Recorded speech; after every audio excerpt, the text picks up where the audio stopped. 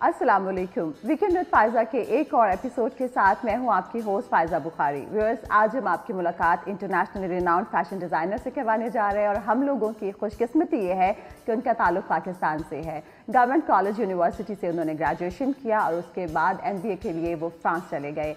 वहाँ पर उन्होंने ज़ीरो से हीरो तक का सफ़र किया और इतनी बेशुमार कामयाबियाँ समेटी, दुनिया में अपना नाम पैदा किया। उसके बाद वो पाकिस्तान लौटे। पाकिस्तान में सोशल वेलफेयर के बहुत सारे प्रोजेक्ट शुरू किए और उनकी खदमात के पेश नज़र हुकूमत पाकिस्तान ने तेईस मार्च दो हज़ार चार को उन्हें सितारे इम्तियाज़ से नवाजा। ये सिविलियन को दिया जाने वाला सबसे बड़ा अवार्ड है, एजाज़ है। लेकिन यहाँ का जो निज़ाम है, वो उससे खासे बदल नज़र आना शुरू हो गए हैं।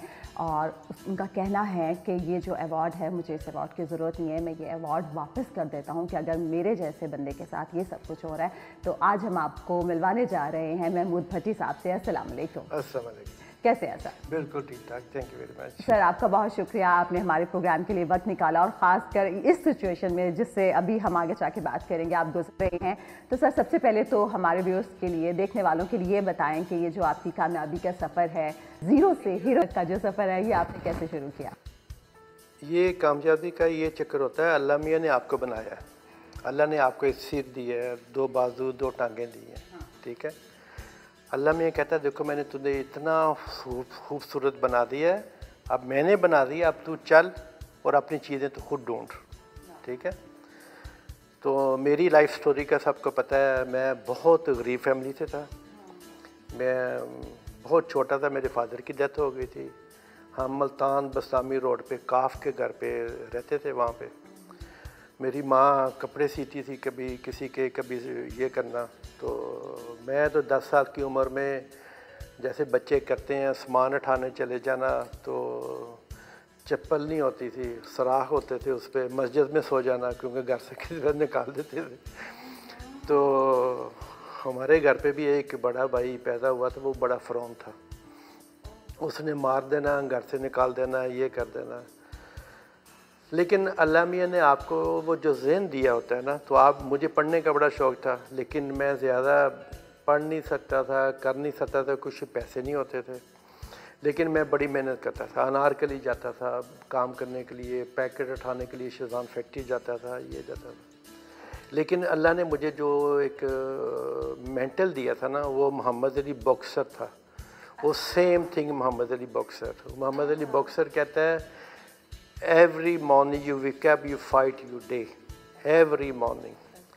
तो वो मैं करता था, दाता साहब जाता था लंगर खाने के लिए, पैसे नहीं होते थे खाने के लिए, लेकिन इस गुड लाइफ बस ऐसे मैंने अपनी लाइफ शुरू की थी। अच्छा सर, आपने कहा कि घर से भी निकाल दिया जाता था, दाता दरबार से आप खाना खाते थे, लंगर खाने से और नारकली से जाके पैकेट्स उठाते थे। अमूमन सर, इस तरह से होता है, जब घर के हालात इस किस्म के हों तो बच्चा गलत रास्ते पे पड़ जाता है।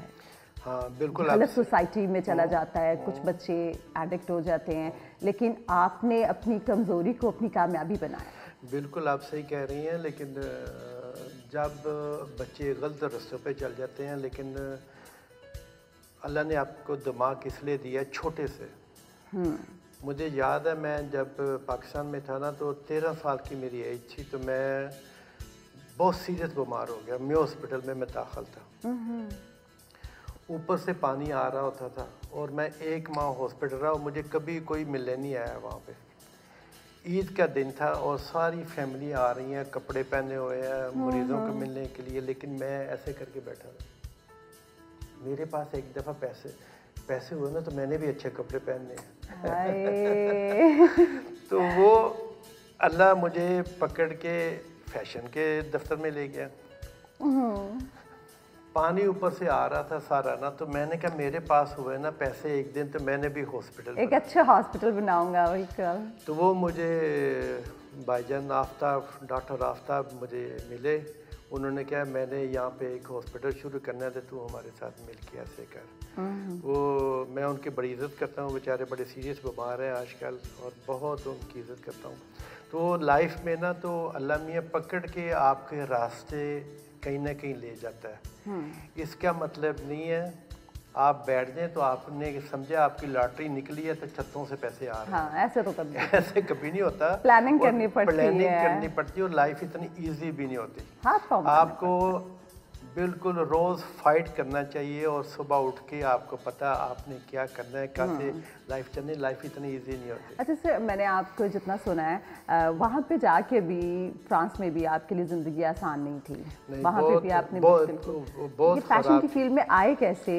किसी ने मशवरा दिया कोई हाथ पकड़ के ले गया हाँ। ये क्या स्टोरी है? नहीं नहीं नहीं वो ऐसे लाइफ इतनी ईजी नहीं होती। बातें करनी बड़ी ईजी है और चीज़ें देखनी बड़ी ईजी होती हैं। वहाँ पे जब मैं गया था तो लंडे बाज़ार से एक कोट लेके गया था इतना लंबा लंबा होता था और सर्दी मुझे नहीं पता था मतलब यूरोप में सर्दी होती है। माइनस टेन टेम्परेचर इतनी इतनी बर्फ़ होती है। अच्छा। तो पाकिस्तान के जो जूते पहनी थी उसमें पानी अंदर आता था। तो वहाँ पे मैं एक मेरा दोस्त था उसके हॉस्टल में मैं गया तो उन्होंने अगले दिन मुझे निकाल दिया। वहाँ पे क्योंकि दो आदमी नहीं रह सकते। हाँ तो जब आप सतारह अठारह साल की उम्र हो टैची से उठाया हो वो उनकी ज़ुबान नहीं आपको हाँ आती उनकी ज़ुबान नहीं आती। सबसे बड़ा मसला। वो अंडरग्राउंड मेट्रो मिलती है आप वहाँ पे बैठ जाते हैं गार्बेज मिलता है उनके जो लोग फेंक जाते हैं वो ढूंढते हैं खाने के लिए और वहाँ पे सोते हैं ऐसे ऐसे और रो रहे हैं। बिल्कुल। अठारह उन्नीस साल की उम्र उम्र तो बच्चा होता है बच्चा है बिल्कुल सर बिल्कुल तो ऐसे वो मैं कि दो माह वहाँ पे रहा और ज़ुबान नहीं आती थी। फिर एक दिन मुझे कोई मिल गया उसने क्या काम ढूँढने के लिए ये लफ्ज़ है शश तरवाई मतलब फ्रेंच में मुझे नौकरी चाहिए काम चाहिए। फिर वो मुझे मैंने एक काम शुरू किया था ये सफ़ाई से सारा। तो एक फ़ैशन का ऑफ़िस था वहाँ पे मुझे सफ़ाई करनी मिल गई। मैं पैकेट उठाता था सफ़ाई करता था। वो वहाँ से फिर मैं सेलमैन बन गया। अच्छा। वहाँ से फिर मैं देखता था कैसे कपड़े बन रहे हैं कैसे लड़कियाँ पहन रही हैं ऐसे ऐसे करके मैं देखता था। ऑब्ज़र्व करता था। फिर दो साल बाद वो जूस की सबसे बड़ी मार्केट थी वो फ़ैशन की क्योंकि पूरी दुनिया में जूस कंट्रोल करते हैं सब चीज़ों के। मेरे वो बहुत करीबी तल्लकात बनते मैं सब सब लड़कियाँ मैंने जाना वहाँ पे, वो पैकेट उठा के तो लड़कियों ने मुझे ऐसे देखना तो मेरा रंग लाल हो जाना। मुझे नहीं पता था क्यों मुझे देखती हैं तो बड़ा वो यंग एज में होता है सारा। तो वो ऐसे फिर वो मेरा ज़रा मैं हीरो बनना शुरू हो गया लड़कियों में। तो ऐसे फिर वो मैंने जब काम शुरू किया दो साल बाद फिर मैंने अपना काम शुरू किया। दो साल वहाँ पर गुजारने के बाद इतनी मेहनत करने के बाद इतने अच्छे से आपने सब ऑब्ज़र्व किया कि आपने काम भी कर लिया। हालाँकि आपने फ़ैशन डिज़ाइनिंग की बाकायदा तालीम हासिल नहीं की। नहीं कभी नहीं की। और ये जो मैं आपका घर माशाल्लाह से देख रही हूँ ये भी इतने अच्छे से आपने इसको डेकोरेट किया और आपने कहा कि ये सारा का सारा आपने खुद किया है। हंड्रेड परसेंट पाकिस्तानी है ये घर। पेंटिंग्स फर्नीचर सारा पाकिस्तान का बना हुआ है। सर तो, इसकी भी कहीं से ट्रेनिंग नहीं ली? नहीं नहीं नहीं सब चीज़ें आपके को खुद आती है। अल्लाह ने आपको सिल दिया आपको फिर खाने की तमीज़ होनी चाहिए किसी के साथ बोलने की तमीज़ होनी चाहिए इज़्ज़त होनी चाहिए और ये बहुत ज़रूरी है। अल्लाह ने सब लोगों को एक जैसे बनाया हुआ है। एक थोड़ा सा ऊपर चले जाता है एक थोड़ा सा रहता है लेकिन हम सब एक जैसे बने हुए हैं। अगर आपके पास कल थोड़े से पैसे आ जाए ना तो आप फ़रौन बने ना तो अल्लाह मियाँ इन चीज़ों को पसंद नहीं करता। अल्लाह मियाँ पसंद उन लोगों को करता है जो हम्बल रहे और अपना माजी ना भूले सबसे बढ़ते हैं सबसे सबसे बढ़ अच्छा सर इस वक्त आपकी माशाल्लाह आपका जो बिज़नेस है वो दुनिया के कितने ममालिक में है? एटीज़ कंट्रीज़ में। एटीज़ कंट्रीज़ में। अमेजिंग और कितना स्टाफ आपके अंडर काम करता है? काफ़ी लोग हैं मेरे पास दुनिया में और अब आस्ता आस्ता क्योंकि वो मैं ज़रा कम भी कर रहा हूँ आस्ता आस्ता क्योंकि मुझे बहुत शौक है गरीबों के लिए ये चीज़ें करने के लिए ना? तो मैं चाहता हूँ मेरी एंड लाइफ जो है ना तो इनके साथ गुजरे। हम्म, पाकिस्तानी भी हैं आपके साथ में शामिल नहीं पाकिस्तानी नहीं है मेरे ऑफ़िस में। कोई भी एक कोई एक भी पाकिस्तानी? नहीं वो पता है कि जब आपस में एक ज़ुबान बोलते हैं ना तो बड़ा मुश्किल हो जाता है काम करना। मेरे घर पे है पाकिस्तानी मेरा कुक और मेड पाकिस्तानी। स्टाफ पाकिस्तानी है। लेकिन आपने काम के लिए नहीं। अच्छा सर फिर जब माशाल्लाह से अल्लाह ताला ने इतना करम किया इतनी खास रहमत की आपने यकीनन क्योंकि अभी इंटरव्यू से पहले भी हम बात कर रहे थे तो सर पाकिस्तान से पाकिस्तानियों से बहुत प्यार करते हैं और वो पाकिस्तानियों के लिए बहुत कुछ करना चाहते हैं। करना चाहते थे भी मैं ये कहूँ इसी के लिए आप पाकिस्तान वापस आए। आपने हॉस्पिटल का क्याम भी अमल में लाया क्योंकि वो में हॉस्पिटल की याद आपको थी कि वो पानी गिर रहा है आप अच्छा हॉस्पिटल बनाएँगे। इसके अलावा आप बेघर अफराद के लिए तीन बच्चों के लिए काम करना चाह रहे थे। आपने वो सब कुछ किया? हॉस्पिटल मेरे दो पार्टनर हैं वहाँ पे हाँ, डॉक्टर शायदा भाजन आफ्ताब रजवान वहाँ पे है। मैं अकेला नहीं क्योंकि वो शायदा डॉक्टर है तो वो चलाती है उसको मैं पार्टनर हूँ। यतीमों के लिए मुझे सबसे ज़्यादा इसलिए शौक है क्योंकि मैं खुद यतीम था हमारे फैमिली में पैसे नहीं होते थे। मैं अल्लाह से बहुत डरता हूँ।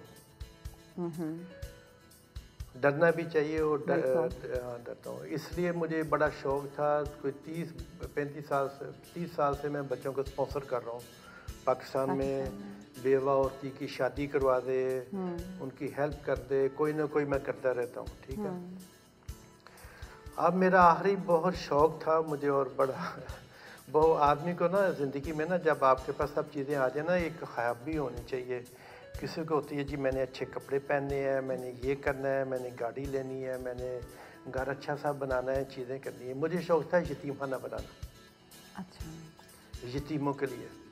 बहुत नेकी का काम। वो मेरे पास जब पैसे आए 87 में मेरी कोई 200 मिलियन टर्नओवर हो गई थी बहुत पैसे आने शुरू हो गए थे माशाल्लाह। क्योंकि मैं ऑफ़िस जाता हूँ सुबह छः बजे पेरिस में। रात को आठ बज जाते हैं। दिन कितने घंटे में बैठता हूँ वहाँ पे?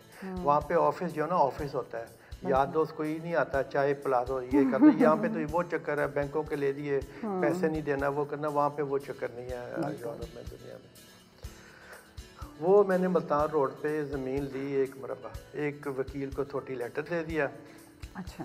वो ज़मीन मरबा जब मैंने अब क्योंकि मैंने कहा अब एज भी इतनी नहीं हो रही है ज़रा। सारी उम्र जवान प्ले बाई थोड़ी आदमी रह सकता है। वो बच्चे आप उनको अपनी सीट दे दें ठीक है ना? आप आ गए सारा। अल्लाह आपको लंबे सम के। वो जब मैं बनाने लगा तो वो मुझे पता चला जी वो तो छोटी लेटर पे उसने अपने और अपनी बीवी के नाम पे करवा ली वकील ने। ज़मीन। जब मैं वहाँ पे गया तो ज़मीन देखने के लिए वो उसका स्टे आर्डर लिया उसने अगले दिन जनाब मुझ पे पर्चा करवा दिया। उस वकील ने? हाँ जी क्योंकि वकील है ना वो उसका काम ही है फ्रॉड करना कब्जे करना ग्रुप कब्जे करना दोनों मियाँ बीवी का काम ही यही है और कोई काम नहीं है उनका। जो मुझे पता चला है पाकिस्तान से ना उनके बारे में क्योंकि लोग वकील भी उनके बारे में बातें करते हैं ठीक है। और वो जनाब सर आप उनको जानते कैसे थे? आपने क्यों मैं जानता था वो दिया? मैं जानता था बड़ी अच्छी तरह उसको जानता था। तो वो आदमी दे देता है ना सब गलतियाँ हो जाती हैं ज़िंदगी में ठीक है ना? तो वहाँ पे हम जो दुनिया में कारोबार करते हैं तो वकीलों को छोटी लेटर देते हैं। वकील सारा कुछ करते हैं ठीक है ना? मैंने एक अभी प्रॉपर्टी वहाँ पे पेरिस में भेज रहा हूँ तो वकील का मैसेज आया था वो ही मेरे थ्रू कर रहा है वो मेरे बैंक में पैसे जाएँगे वहाँ पे वो ऐसे नहीं कर सकते।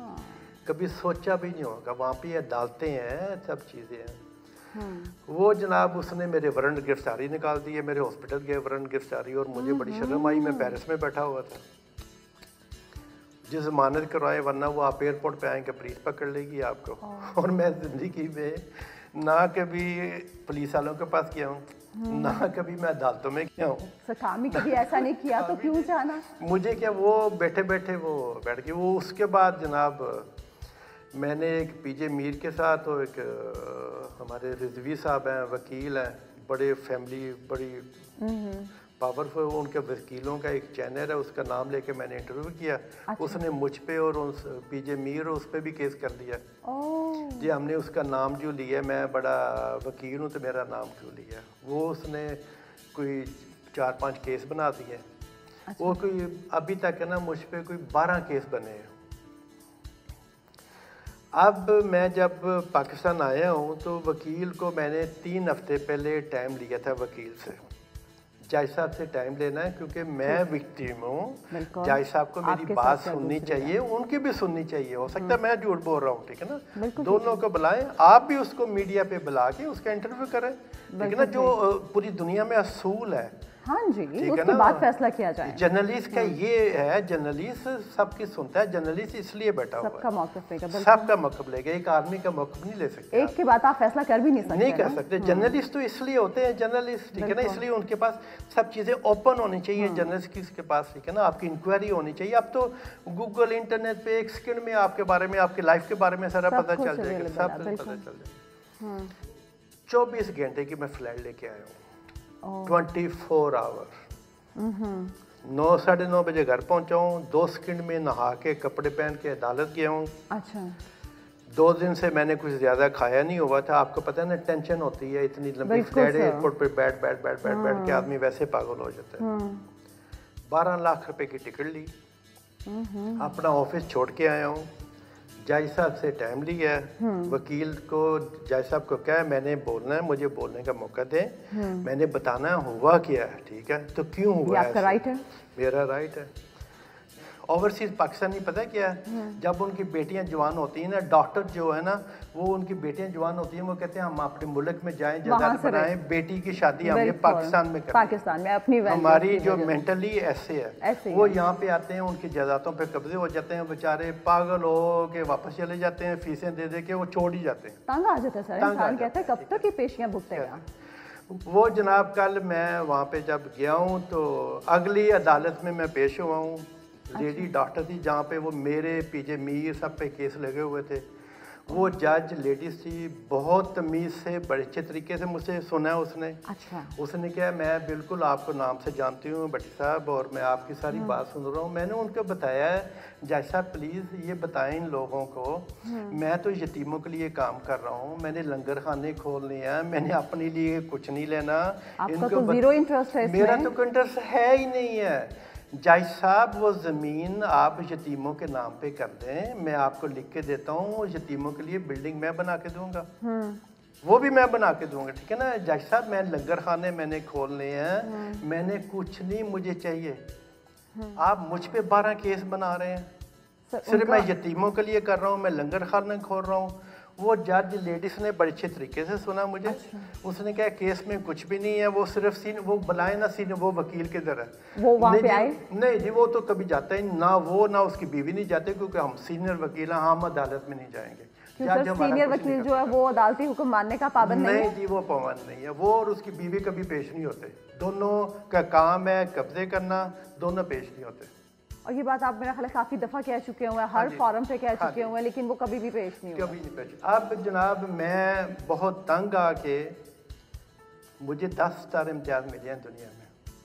बिल्कुल मुझे बताएँ कौन सा पाकिस्तानी है जिसको दस स्टार इम्तियाज़ मिले और मैंने दुनिया में पाकिस्तान का नाम रोशन, किया किया। है। अच्छे लफ्ज़ों में।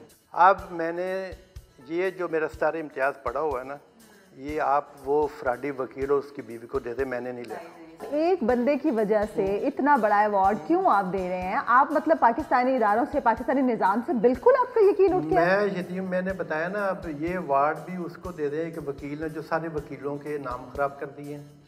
सारे वकील ऐसे नहीं सारे तो एक जैसे नहीं होते ना। उस वकील ने जो नाम खराब किया है और उसके बाद मैंने आप जाना है पंजाब यूनिवर्सिटी में पैसे देने के लिए। आपने ऐलान किया हुआ था पाँच बच्चों को मैंने वो देने हैं। उसके बाद एनसीए में मैंने एक प्रॉमिस करके उनको देने। हैं। ये सारे मेरी लास्ट स्पॉन्सर होगी। उसके बाद सारा कुछ मैं बंद कर रहा हूँ। सौ औरतों की मैं शादी करवाता था नॉर्दर्न एरिया में वो बंद फिर पंजाब ये सारे जो मैं बच्चों के मैंने की। सारा कुछ मैं बंद कर रहा हूँ। और अपने हॉस्पिटल में मैंने कह दिया है आइंदा से कोई गरीब आएगा तो आपने मुफ़्त इलाज नहीं करना। अगर मेरे जैसे लोग के साथ ये हो रहा है ना मैंने उस दिन भी अपील की थी चीफ जस्टिस साहब से मैं दोबारा अपील कर रहा हूँ मेरे सारे केस अपने पास ले जाएँ। ना मैंने ज़मीन लेनी है ना मैंने लंगर खाने जो खोलने हैं अपने नाम पे करवाने हैं। जज साहब सी- जस्टिस साहब आप ये टीमों के लिए करें मैं आपको लिख कर दूँगा उसकी बिल्डिंग बनाऊँगा। अगर ये मार्च तक मेरा इन केसों का फैसला ना हुआ मैंने सारी इंटरनेशनल मीडिया को लेके आना। चीफ जस्टिस के सुप्रीम कोर्ट के बाद मैंने भूख हड़ताल करनी है बैठ के। सर हमारे मुल्क की बदनामी नहीं होगी। बिल्कुल होगी और मैं बिल्कुल मैंने अस्सी मुल्कों में मुल्क का नाम बनाया मेरा नाम महमूद भट्टी पता है कैसे आता है? पाकिस्तानी। बिल्कुल मैं वही कह रही हूँ आप अगर पाकिस्तान का नाम रोशन कर। रहे हैं मैं अपना चेहरा चेंज नहीं कर सकता ठीक है ना? तो वो पाकिस्तान मेरे खून में मेरे बच्चे दुनिया के मशहूर मॉडल हैं। अगर वो टीवी पे आके शोर शुरू कर दें पाकिस्तान में ये हो रहा है तो पाकिस्तान की इज़्ज़त क्या रहेगी? अगर मेरे जैसे लोग के साथ इंसाफ नहीं हो रहा तो फिर एक आम गरीब पाकिस्तानी आम ओवरसीज पाकिस्तानी से क्या होगा? मैं अपील करूँगा सब ओवरसीज पाकिस्तानी से आप बचें गरीबों के लिए आप सोचेंगे आप पे भी बारह केस बन जाएँगे।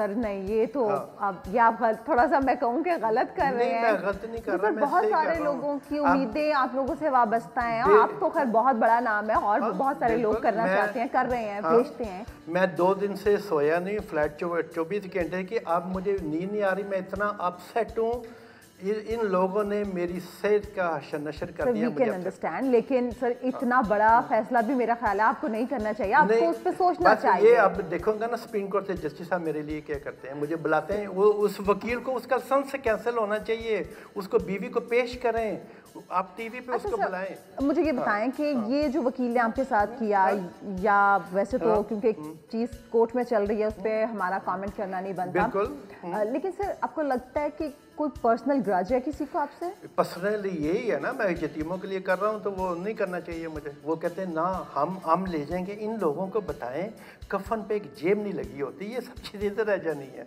वकील साहब आपके बच्चे भी हैं आपकी बेटियाँ भी होंगी आपके बेटे भी होंगे दूसरे लोगों का सोचिए आप कितना खा लेंगे? कहते हैं ना तो मानने के बहुत सारे और तरीके हैं। कितने कहते हैं ना आप एक ठंडी रोटी खा लें गरम ना खाएँ ज़ुबान आपकी सड़े। ठीक है ना? तो आदमी एक रोटी खा सकता है दो नहीं खा सकता इस तरह फिर मोटा हो जाएगा। तो इसलिए जो शर इज़्ज़त की रोटी है ना वो बड़ी ज़रूरी है। अगर सुबह छः बजे आके पुलिस आपका दरवाज़ा खड़काए ना आपने गलत काम किया है आपकी रात को नींदें नहीं आएँगी। ठीक है ना? तो इसलिए इज़्ज़त वाली रोटी एक अच्छी होती है। सर आपके साथ हॉस्पिटल में साकिब निसार साहब जो साकिब अ, साबिक चीफ जस्टिस हैं वो वाला किस्सा भी सर सुनाए? वो किस तरह हॉस्पिटल में आए? तब भी इतफाक की हम इसको महज इतफाक कहें या क्या कहें कि तब भी अदालत की तरफ़ से ही इस तरह का हुआ जज साहब खुद वारद हो गए और वहाँ पे सब इतना सीन हुआ और तब आप उनके खिलाफ भी बड़ा खुल के बोले। और अब फिर एक दफ़ा वकील और जज की वजह से। मैं उनके खिलाफ नहीं बोला। आप ये देखें मैं पेरिस से आया हूँ। पार्किंग प्लाजा बन रहा था। ठीक। मैंने जीन पहनी हुई थी टी शर्ट पहनी थी मैं वहाँ पे खड़ा हुआ था। सही।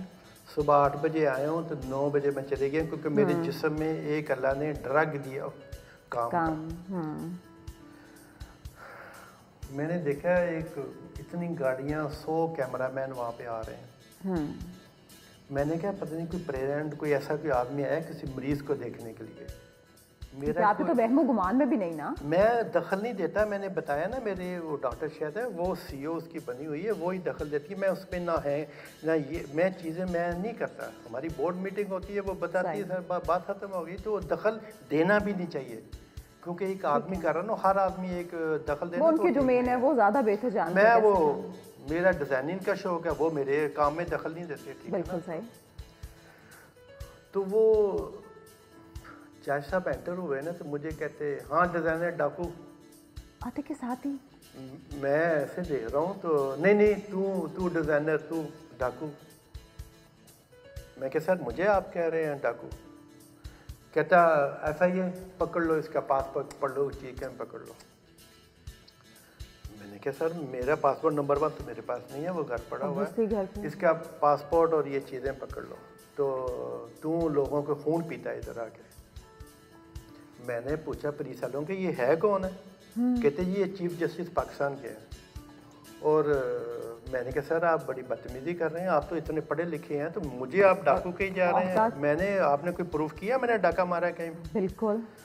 कहता है ये बड़ी बातें करते हैं इसको पकड़ लो। बाद में कहता है वो, ये रेड क्या है कमरों का? मैं क्या जो बॉस होते हैं ना उनको कमरों को रेट नहीं पता होता उन्होंने अपने मैनेजर रखे होते हैं तो वो मैनेजरों को रेट पता था एक मरीज़ को कहता है तू डाकुओं के पास कैसे फंस गया? मैं सुन रहा हूँ पुलिस ने मुझे इधर से पकड़ा हुआ इधर से। मेरी जो गर्लफ्रेंड वाइफ थी उस टाइम वो बेचारी गिर गई। क्योंकि सर बर्दाश्त ही कोई नहीं करता इतना शॉकिंग है ये सब ये हो के गया इसने कोई गलत काम किया है मुझे बता नहीं रहा। तो हाँ। इसलिए पुलिस और जज सारे इसको पकड़ रहे हैं तो इसने कोई गलत काम किया हम्म, वो शुरू हो गए जनाब। इसको अदालत में पेश करें आप। मैंने घर से तूने आना है ना मेरे पास? ये जो तुझे कपड़े पहने हैं मुझे पसंद नहीं कपड़े चेंज करके आने हैं। इस किस्म की बातें उन्होंने की आप देख लें अभी वीडियो देख लें सोशल मीडिया पे आप देख लें जो मिल जाएगी आपको। कहता है कपड़े चेंज करके आने हैं, आपने ऐसे नहीं आने। मैंने लड़कियों को भेजा घर पे शर्ट लेने के लिए पासपोर्ट लेने के जो मैंने पुलिस को दिया वो पकड़ के मुझे अदालत में ले गए। अब मुझे ये चीज़ बताएँ एक चीफ जस्टिस. एक चीफ जस्टिस साहब पाकिस्तान के मुझे बता रहे हैं मैंने कपड़े कैसे पहनने हैं। मुझे बता रहे हैं। सर अच्छा लेकिन उस वाले हादसे में मुझे समझ नहीं आ रही वो उनका क्या था? वो अचानक उन्होंने क्यों छापा मारा मेरे हॉस्पिटल नहीं वो सारे हॉस्पिटलों में वो मौला जट बना हुआ था शूटिंग कर रहा था फ़िल्मों की ना पूरे कराची में वो एक शराब मिलती है वो शहद बन जाता है। हाँ जी। हाँ जी जी, हर जगह पे वो खुद हर हॉस्पिटल में तो वो हमारे हॉस्पिटल में भी ऐसे ही आया था मेरा पर्सनल मैं उस आदमी को नहीं जानता। लेकिन सर पता होना चाहिए कौन बंदा या बंदी हमारे मुल्क का प्राइड है हमें उसको इज़्ज़त देनी पर्सनल किसी को ना पता है क्या लाइफ में आप पर्सनल टैग नहीं कर सकते। बनता मैं नहीं है। मैं आपको नहीं कह सकता आपने कपड़े कैसे पहने। बिल्कुल। आप कौन होते हैं? मुझे कहने मैं जो मर्ज़ी पहनूं। आज आज मैंने जो मर्ज़ी मेरा दिल करे मैं पहनूं। काले कपड़े पता है मैंने क्यों पहने सर सोख की वजह से गम की वजह से। बिल्कुल। मुझे इतना अफसोस है ना मेरा खून पाकिस्तानी है मैं पाकिस्तानी हूँ सारी उम्र पाकिस्तानी रहूँगा। लेकिन मुझे इस चीज़ का अफसोस है ये लोग फ़रौन क्यों बने हुए हैं? सर आप इस वक्त बहुत ज़्यादा टेंशन में हैं और बहुत ज़्यादा इमोशनल भी हुए हुए हैं। हम आपकी पोजीशन को बिल्कुल समझ सकते हैं। लेकिन कितने लोग इस नहज पे आपको ले आए हैं। कितने लोग ज़मीनों पे सोते हैं? ये हम उनके लिए खाने का करना चाहते हैं? बारह केस मुझ पे बना दिए। दो हज़ार तेईस आने वाला है। दुनिया कहीं की कहीं चली गई है कहीं की कहीं चली गई है। वहाँ पे अदालतों में होते हैं इंसाफ। दूसरी पार्टी को बुलाते हैं आपको बुलाते हैं। छः माह में केस ख़त्म हो जाते हैं। वो आप सुनेंगे जज साहब मिडल में जो जज साहब होते हैं बहुत बड़ी पोस्ट होती है उनकी। वो मिडल में बैठ के आपके फैसले करते हैं। आपकी सुनेंगे उसकी सुनेंगे। हो सकता है मैं गलत बातें आपके इंटरव्यू पे कह रहा हूँ झूठ बोल रहा हूँ कुछ कर रहा हूँ ठीक है ना? तो दो आदमियों को। तो लेकिन यहाँ पे अगर हम ओवरसीज पाकिस्तान नहीं जाके हालात देखें मैंने बताया ना मैंने अपनी लाइफ कैसे शुरू की है। बड़े पाकिस्तानी वहाँ पे बेचारे परेशान होते हैं काम करते हैं सर्दियों में पैकेटर्स आते हैं सफ़ेदियों से काम करते हैं और वो अपनी बेटियाँ उनकी जवान होती हैं वो पाकिस्तान आना चाहते हैं पाकिस्तान आके उनके जायदादों पे कब्जे हो जाते हैं। ये सिस्टम सही नहीं हो सकता। ये सिस्टम पता नहीं यहाँ पे तो यहाँ कोई हिटलर आए पाकिस्तान को चेंज करने के लिए या कोई चेंज ये सिस्टम हर आदमी को अपनी पड़ी हुई है अपनी पड़ी हुई है अपनी पड़ी हुई है। तो सर आपको रोता देख के तो हम लोगों का भी लिटरली दिल खून के आँसू रोने वाली बात है। सर लेकिन आपके तो ताकतवर हलकों से भी ताल्लुकात हाँ, होंगे। तो सर आपने किसी जगह पे बात नहीं। की कि आपको इंसाफ मिलना चाहिए? नहीं मैं क्योंकि ना मैं वो आदमी हूँ जो हर चीज़ लाइफ में मेरिट पे होनी चाहिए। ये लड़के जो आपके काम कर रहे हैं ना तो ये मेरिट पे इनको तरक्की ऊपर जानी चाहिए। अगर सिफारिश करके इसको पकड़ के आप इधर बैठा देंगे आपको पकड़ के उधर नीचे पर वो वो मुल्क ऐसे तरक्की नहीं करते। सर मुल्क बिल्कुल तरक्की नहीं करता लेकिन जो आपके साथ हो रहा है उसकी वजह से हाँ, पाकिस्तान आपकी बदनामी नहीं पाकिस्तान की बदनामी हो हाँ, तो रही मैंने गलत काम नहीं ना किया वो मेरे टीवी पे इंटरव्यू सुन ले उन्होंने जो करना है खुद कर ले मैंने किसी से सिफारिश नहीं करनी। हाँ मैंने सिफारिश इसलिए नहीं करनी क्योंकि मैंने गलत काम है बस यही किया है। गरीबों की खिदमत की है। खिदमत की है पाकिस्तान की खिदमत करने का सोचा चलो आप बाहर करेंगे बड़े गरीब हैं वहाँ पे उनके लिए करेंगे। इंशाल्लाह क्योंकि मेरी हॉबी है। जाएँगे वहाँ पे वियतनाम कम्बोज इधर बड़े गरीब लोग हैं उनको जाके करेंगे उन पे लाइफ गुजारेंगे वहाँ पे जाके। सिंपल लाइफ करके अपना नहीं सर अल्लाह करे। कि मतलब इन ये लोग होश के नाखुन लें। और सर लेकिन कल से अभी तक जो सेशन कोर्ट में जो कुछ हुआ हाँ उसके बाद जो जज के रिमार्क्स थे आपके जो थे प्रेस कॉन्फ्रेंस थी। उसके बाद सर अभी तक वैसे किसी ने आपसे कांटेक्ट किया? नहीं नहीं, नहीं। किसी हुकूमती शख्सियत ने? नहीं नहीं नहीं। नहीं नहीं वो मुझे सब जानते हैं लेकिन मैं उनसे ये बातें नहीं वो खुद सोचे ना अगर कोई आदमी यहाँ पे सियासी लीडर बने हैं प्राइम मिनिस्टर चीफ मिनिस्टर वगैरह वगैरह वो वो क्या करेंगे जजों के लिए ठीक है ना? तो वो खुद करें ठीक है ना? हम्म। हम्म, आप किसी से खुद से बात करके नहीं, नहीं नहीं, चाहेंगे मैं नहीं और अब आपने ये छोड़ दिया है इन लोगों पे कि मार्च तक अगर आपको इंसाफ मिल गया हाँ। तो ठीक। मार्च तक देख लेंगे ना मार्च तक नहीं उसके बाद जो आपके फैसले मतलब आप वो कंटिन्यू करेंगे अपने प्रोजेक्ट को। कंटिन्यू ये करेंगे फिर आस्ते आस्ते सब चीज़ें यहाँ पे बेच के अपना पैसा बाहर लेके जाएँगे और सब ओवर फिर वहाँ पे सब मीडिया पे मैं आया करूँगा। और ओवरसीज पाकिस्तानी से मैं अभी अपील करता हूँ बे केयरफुल पाकिस्तान से बचो यहाँ पे। आप नहीं नहीं प्लीज़ आप ये बातें क्या कर रहे हैं? मैं सही कर रहा हूँ। सर इस वक्त शायद इसलिए कि आप बहुत ज़्यादा टेंशन नहीं नहीं नहीं नहीं टेंशन परेशानी की हालत में इंसान बददिल हो जाता है तो फिर इस तरह की बातें करता है। ओवरसीज पाकिस्तानी बेचारे उनको कोई जानता नहीं आप उनको टीवी पे नहीं बुलाएँगे आप उनको नहीं जानते। मुझे जानते हैं आपने मुझे बुलाया ठीक है ना? अगर मेरे साथ हो रहा है तो वो दूसरे बेचारे बच्चों को उनके साथ क्या होगा? वो सुने ज़रा कितने लोगों के साथ ये जहाज़ में एक आदमी मेरे साथ बैठा हुआ था। कहता जी मैं तीस साल से लंदन में हूँ। मेरी बेटी एक एक बेटी है जवान हो रही थी। मैं फैसलाबाद उसका मैंने प्रॉपर्टी ली तो मैं वापस गया हूँ मैं अपनी फैमिली सेट करनी थी मैं आया तो वो किसी ने कब्जा कर लिया स्टे ऑर्डर ले लिया। चार साल में मैंने साठ लाख वकीलों को दे दिया है और अदालतों के चक्कर लगा रहा हूँ। अच्छा सर आपने ये भी कहा कि जो नेशनल हॉस्पिटल वाला केस था उसके बाद आपकी डिवोर्स भी हो गई? बिल्कुल जनाब वो, वो भी साकिब नसार की वजह से वो डर गई उसने क्या पता नहीं मैंने क्या किया। वो कहती हमने पाकिस्तान मैंने पाकिस्तान नहीं जाना वो डिवोर्स हो गई। तो चले शुक्रिया साकम नसार सर का मैं शुक्रिया सर करता हूँ। और मैं क्या करता हूँ अल्लाह में उनको भी समझाए। आप इतनी बड़ी पोस्ट पे लगे हुए थे तो ऐसे बदतमीजियाँ कर रहे थे नहीं करनी चाहिए बदतमीजियाँ। पर्सनल अटैक नहीं करने चाहिए किसी बिल्कुल पर्सनल अटैक किसी पे भी नहीं करना चाहिए। व्यूअर्स महमूद भट्टी साहब से गुफ्तु का सिलसिला जारी है मगर यहाँ पे वक्त हुआ एक ब्रेक का।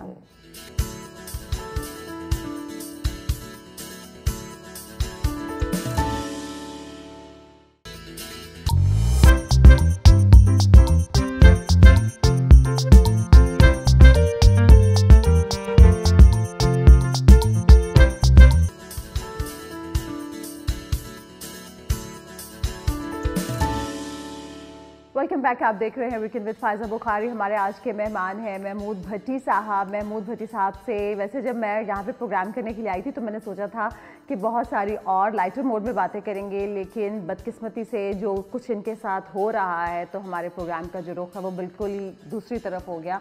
अच्छा सर, अब थोड़ा सा हम ज़रा चेंज भी करते हैं। और हम चाह रहे हैं कि आप जो इस वक्त जहनी दबाव का तनाव का शिकार है उसमें से निकलें। तो थोड़ा सा बात कर लेते हैं। सर वैसे आपको सियासत की भी तो ऑफ़र होती है। खुद आप क्यों नहीं चाहते हैं कि आप यहाँ पर हुकूमत में आएँ और आके इस मुल्क का निज़ाम ठीक करें? अगर इस मुल्क का निज़ाम ऐसे ही बेड़ा गर्क ही रहना है तो आप आके क्यों नहीं आगे आते हैं? हाँ मुझे ना शुरू से सियासत का कभी शौक नहीं रहा। मुझे बस इन चीज़ों का शौक है सियासत करने का नहीं तो सर जो आप सब कुछ आपके साथ हुआ आपको नहीं लगता अगर आप पार में आ जाएँ तो आप कुछ बेहतरी कर ला सकते नहीं हर आदमी का पता है कि एक हर आदमी के अपने अपने काम होते हैं अपनी अपनी चीज़ होती है तो आदमी को अपने काम ही करना चाहिए ये मेरे फ़ैशन का काम है ये काम है मैं फ़ैशन का काम ही करता हूँ। उन चीज़ों का मुझे नहीं पता हुकूमत कैसे चलानी है चीज़ें कैसे करनी है उनका मुझे शौक नहीं है सर अगर आप पूरी दुनिया में इतनी अच्छे तरीके से अपनी कंपनी चला सकते हैं ना तो आप मैं समझती हूँ मुल्क में भी आके अपनी खदमात दें। अच्छा सर आने वाले दस वर्षों में खुद को कहाँ देखते हैं?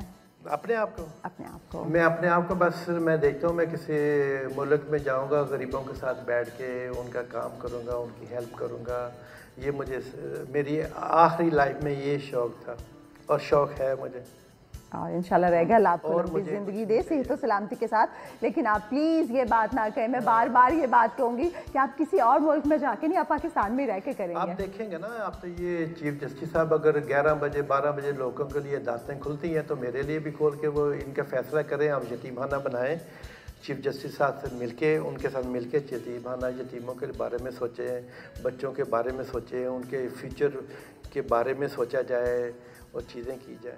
अच्छा सर जो जिन वकील को आपने अथॉरिटी लेटर दिया था आपके पास मतलब उस ज़मीन से रिलेटेड कोई भी ऐसा एविडेंस नहीं था जो आप पेश कर सकते? नहीं सारा कुछ है। वो उसने काट के सर इसके बावजूद इतनी दीदा दलेरी के साथ हाँ काम हो रहा है? हाँ जी उसने काट के ना अपने और अपनी बीबी को तोहफा दिया हुआ।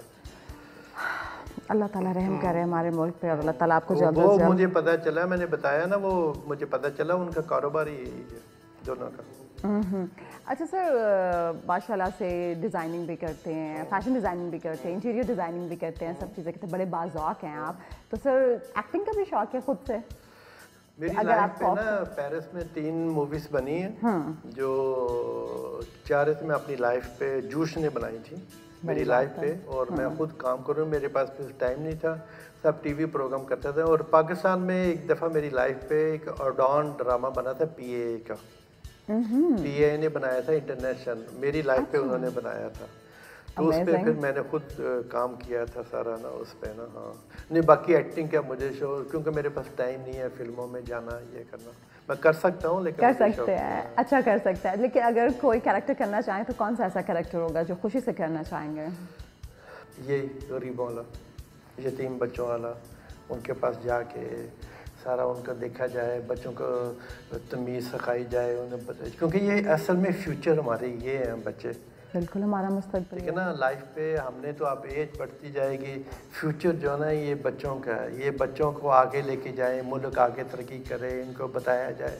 मुल्क कैसे जा रहा है इंटरनेट कैसे जा रहा है दुनिया में प्रेस कैसे जा रही है सब चीज़ें कैसे जा रही हैं। अच्छा सर फ़ैशन को लेके आपके फेवरेट ट्रेंड्स क्या हैं?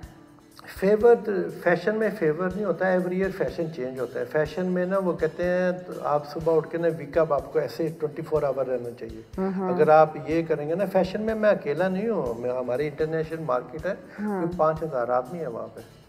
फ़ैशन डिज़ाइनर है वहाँ पे। वहाँ पे भट्टी साहब अकेले नहीं है पाँच हज़ार हैं तो हर आदमी का जिसका टॉप पे फ़ैशन जाएगा उसका नाम ही मशहूर होगा यूरोप में उसका क्योंकि वहाँ पे काफ़ी राइट्स हैं सारे। फेवरेट मॉडल कौन सी है आपकी?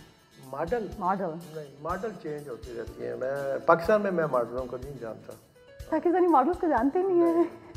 क्योंकि मेरा इनके साथ तो काम नहीं है ना। ज़्यादा मैं आता हूँ यहाँ पे अपना काफ़ी बिज़ी रहता हूँ। अपनी मीटिंग्स ये ये। मैं मैं घर से बाहर नहीं निकलता। पहले मैं तीस साल रहा हूँ पीसी में। वो पीसी से मैं नीचे लॉबी नहीं जाता था अपने कमरे में रहता था। हाँ। नहीं नहीं मुझे ज़्यादा शौक नहीं है किसी पार्टी शार्टी पे जाने का मॉडलों को मिलने का ये सब नहीं चीज़ें करते। हैं। मैंने देखा हुआ है सारा कुछ ना लाइफ में। तो अब आपने तो बहुत आगे तक का देखा हुआ इसीलिए आपको ये पाकिस्तान की हाँ। चीज़ें क्या इम्प्रेस करेंगी। सर वैसे दोस्ती निभाते हैं? मेरे दोस्त जो है ना वो मेरी फैमिली है। मैं सीटों से प्यार नहीं करता। मैं इंसान से प्यार करता हूँ। ये मेरी शुरू से आदत है। मैं सीटों से मैंने कभी ज़िंदगी में प्यार नहीं किया मैंने इंसान से प्यार किया। मतलबी मैं प्यार मैं नहीं करता मुझे कोई मतलब दे देगा मैं कभी नहीं करता। मैं कहता हूँ इंसान से नेचुर प्यार सीधा प्यार। बिल्कुल। हाँ। मतलब इंसान के साथ तो इंसान चल भी नहीं सकता। अच्छा सर अ, अ, अभी थोड़ी देर पहले जैसे हम आपकी मैं म्यूज़िक कलेक्शन भी सुन रही थी वो भी बड़ी अच्छी है।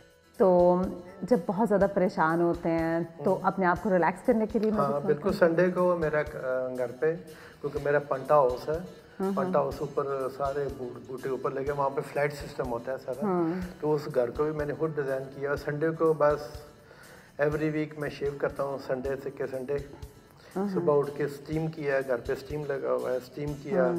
फिर उठ के ऊपर चले गए जाके टीवी लगा लिया कॉफ़ी पी यहाँ टीवी बंद करके म्यूज़िक सुना परिंदों की आवाज़ें सुनी ten ten ten ten ten ten वो आपको ना बड़ा सुकून देती है। संडे को दुनिया जब मैं पेरिस में हूँ अगर मैं टैपिंग नहीं कर रहा दुनिया इधर की इधर हो जाए मैं घर से बाहर नहीं जाता। वो दिन सिर्फ़ आपका होता है वो टाइम आप वो अपने साथ गुजारना पसंद करते हैं। वो मेरे लिए दिन होता है क्योंकि मैं उस दिन बिल्कुल रेस्ट करता हूँ। अच्छा सर जो लोग हमें इस वक्त देख रहे हैं हमारे देखने वाले व्यूअर्स को हाँ। पाकिस्तानियों को बच्चों को क्या मैसेज देना चाहेंगे? बच्चों को तो मैं यही मैसेज क्योंकि आप हमारे फ्यूचर हैं पाकिस्तान की। इस कौम की और अच्छे तरीके से पढ़ें। अगर फ़ैशन करना है तो फ़ैशन में कॉपी राइट्स होते हैं। पाकिस्तान में सलवार कमीज सिर्फ़ हमारे मुल्क का है वो डिज़ाइन है। लेकिन उसको सलवार कमीज बना के फ़ैशन डिज़ाइनर हम नहीं कहते। सामने विंडो पे सेम सेम सेम चीज़ें लगाई हैं उसने कम कीमत उसने कम कीमत उसने सेम वो आपने इंटरनेट पे तस्वीर उतार के बना दी है उसको फ़ैशन डिज़ाइनर नहीं कहते। फ़ैशन डिज़ाइनर कहते हैं जो आप जहन से खुद चीज़ें निकालें खुद तख्लीक करें। हाँ। अच्छा सर हुक्मरानों को क्या मैसेज देंगे? मुल्क का सोचें आप क्योंकि आप इतनी बड़ी सीटों पर बैठे हुए हैं तो अगर आपने मुल्क का सोचेंगे तो मुल्क आगे जाएगा तरक्की करेगा। आप पाकिस्तान में ग्रीन पासपोर्ट की बड़ी कदर होगी। तो वरना इंटरनेशनल तो ग्रीन पासपोर्ट की इतनी कदर नहीं है। सर जो मौजूदा सेटअप है उसको कैसे देख रहे हैं? नहीं मुझे मैंने बता रहा हूँ ना मुझे नहीं बिल्कुल इन चीज़ों वो उनको चाहिए मुल्क के लिए अच्छा काम करें। जो भी हो मेरा किसी के साथ कोई नहीं बस आपको वैसे कोई लगता है कोई ऐसा सियासतदान पाकिस्तान में जो आपको लगता हो कि मुल्क के साथ बिल्कुल वफादार हैं? वैसे तो सारे वफादार ही हैं। सारे वफादार हैं लेकिन, लेकिन वो निज़ाम चेंज कर सकें। मैं कोई ऐसा किसी का? नहीं कह सकता। सिर्फ़ जो मुल्क को ना आगे लेके जाए वो मेरे लिए सर आँखों पे है। क्योंकि दिल से हम उसकी इज़्ज़त करते हैं क्योंकि वो मुल्क को आगे लेके जा रहा है मुल्क की तरक्की हो रही है मुल्क के फ्यूचर बच्चों के लिए यूनिवर्सिटीज़ बन रहे हैं हॉस्पिटल बन रहे हैं चीज़ें हम्म। बन रही हैं अब देखें ना ये घर पे जो पेंटिंग्स लगी हैं ये पाकिस्तानी लड़के ने बनाई है वो कभी सारी? हाँ जी वो मैं बाहर से नहीं लेके आया हुआ उसको मैंने तस्वीरें दी हैं ये ऐसे बनानी है उसने ऐसे बनाई है। हाँ। इसके साइडों पे इस कलर गोल्ड पे लगाना है उसने गोल्ड पे लगाया है। और उस पर इतना टैनर है इतना वो टैलेंटेड वाह। उन उन लोगों को तरक्की दें ना इन चीज़ों के स्कूल कॉलेज बनने चाहिए ना। ये फर्नीचर सारा पाकिस्तान का बना हुआ है। सर वैसे फर्नीचर बहुत कमाल का है हाँ। लेकिन एक बात मैं कह दूँ जो हम प्रोग्राम से पहले कह रहे थे। व्यूअर्स क्योंकि सर ने घर को बहुत अच्छे से सेट किया हुआ है। मैं फर्नीचर की तारीफ़ करी थी तो सर आपने बड़े फखरी अंदाज में मुझे कहा कि ये जो सोफों का कपड़ा है हाँ वो आप लंडे से लेके आया था मैं। ये जो आप ये सर जिस पे हम बैठे हैं ये भी लंडे से आया। हाँ हाँ सीरियस कह रहा हूँ मैं। सर कोई तो बताए भी ना अगर लेके भी हो तो भी ना बताए। मैं ना ना ना मैं वो आदमी नहीं हूँ मतलब मैं बिल्कुल नेचर आदमी मैं नेचर चीज़ें बताता हूँ। ये लंडे बाज़ार से आया है। और इस घर में हम जो भी चीज़ देख रहे हैं चाहे वो शीशा है चाहे वो फर्नीचर है पाकिस्तान। की। हम्म। आप अगर इन लोगों को इन लोगों को जो काम करते हैं उसको अच्छी पे करेंगे वो अच्छा काम मजीद ट्रेन करें तो अगर आप उनका खून पियेंगे तो फिर वो अच्छा काम नहीं करेंगे। अगर हम उनका खून पियेंगे तो वो बिल्कुल अच्छा काम नहीं करेंगे। सर आपका बेहद शुक्रिया। आपके वक्त का व्यूअर्स आप सब देखने वालों का शुक्रिया। उम्मीद करती हूँ आपको आज का प्रोग्राम अच्छा लगा होगा, लेकिन खासा सेंटिमेंटल प्रोग्राम भी था। तो अपना फीडबैक ज़रूर देते रहे, अपना ख्याल रखें, अपने प्यारों का ख्याल रखें। मुझे दीजिए इजाज़त, अल्लाह हाफ़